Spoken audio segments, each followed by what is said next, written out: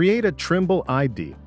In this video, new and existing customers will learn how to create a Trimble identity. Trimble ID permits a user to use one set of login credentials to access any Trimble product they are licensed for. To create a Trimble ID account, you must be invited by your account administrator or Trimble representative. The invitation is sent to your registered email address and will expire within one week of receipt. You may need to check your spam folder. Create a Trimble ID.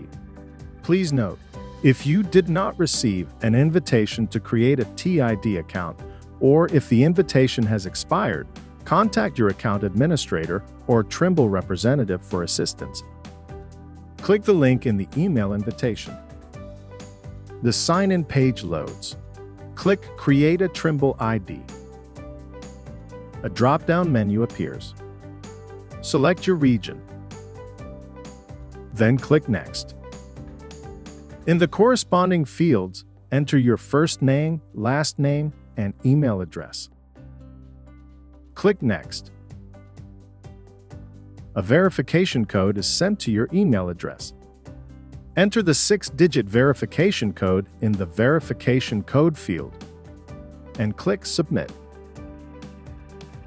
Enter a new password in the New Password and Confirm Password fields. Click Submit.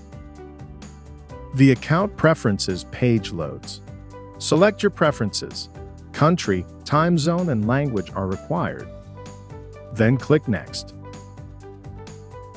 You may also enable multi-factor authentication, but it is not required. If you enabled multi-factor authentication, you must confirm a second factor authentication type.